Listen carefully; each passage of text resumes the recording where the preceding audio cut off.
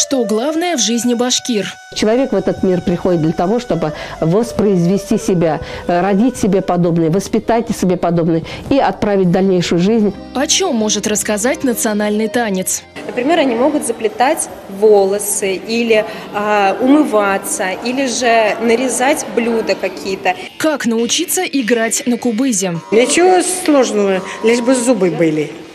А зубы есть? Так держишь?